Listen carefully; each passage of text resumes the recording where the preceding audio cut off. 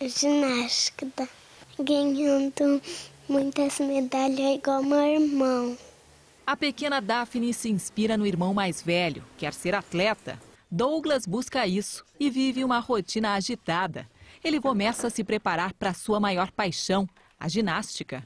O jovem tem 13 anos e desde pequeno pratica o esporte. Ele já coleciona medalhas e sonhos. Meu sonho é ir para as Olimpíadas ou para o Mundial de Ginástica Artística. A mãe do jovem atleta vê no esporte uma forma de promover a cidadania. Os nossos filhos, né, as mães, elas têm os filhos, todos de alguma forma vieram de algum espaço da ginástica artística ou de algum outro esporte.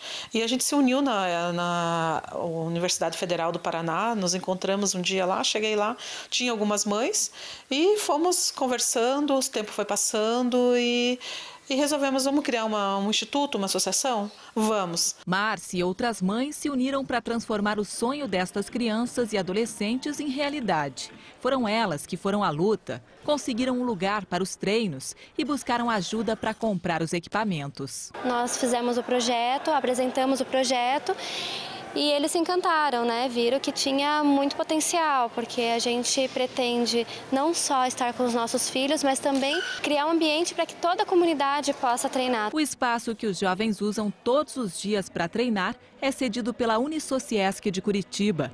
O centro universitário acreditou na iniciativa das mães e apoia a formação de atletas. Nós entendemos que isso é uma, é uma, uma função social da nossa universidade.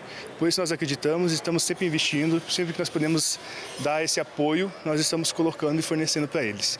É legal ver que eles estão desenvolvendo esse projeto, tem mais crianças chegando, e isso para nós é enriquecedor. Mas por aqui a vontade supera os desafios. E o técnico, anjo da guarda destes jovens, sabe bem que quando se tem um sonho, é preciso persistir. É o sonho que eu não consegui realizar quando era mais novo, né? É, eu treinava ginástica quando era mais novo, por falta de condição, que era muito longe aonde eu treinava e aonde eu morava, né? Então tinha que pagar condução, tinha que pagar lanche, tinha que pagar várias coisas que até então minha mãe não tinha condição de, de, de pagar.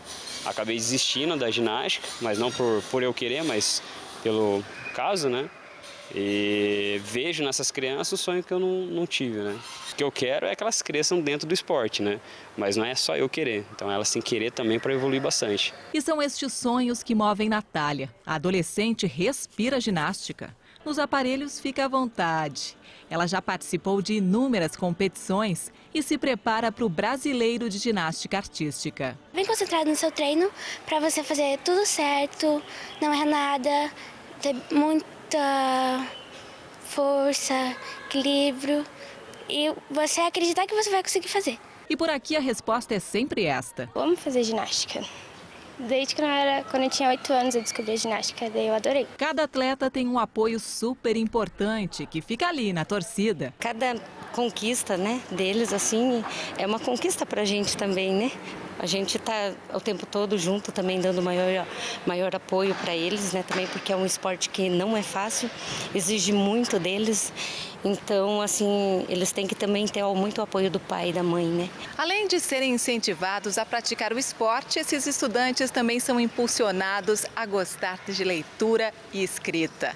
Eles criaram este livro aqui e em cada página mostram o amor que têm pela ginástica. O projeto Linhas, ele incentiva a leitura escrita, né, pelo encantamento, né, primeiramente, e mesmo porque eu acredito muito na transformação pela leitura. E eu conheço muitos dos ginastas aqui da GAP desde pequenininhos, né, eu vejo a luta diária deles é, e para mim eles são guerreiros, são heróis. Eles produziram, né, um livro maravilhoso com poemas a partir da vivência deles, né, do dia a dia, da dificuldade, da superação e também do, do que eles mais gostam de treinar, né, aqui na GAP. Ginástica todos os dias sem parar, mas quando paro para descansar, logo lembro de mim no ar.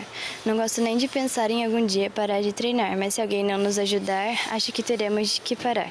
Rodante flick mortal é ataque radical, mas fazer um duplo mortal é muito mais legal. Seja nas palavras ou nos gestos, voando, saltando ou superando limites, buscam todos juntos um mesmo objetivo.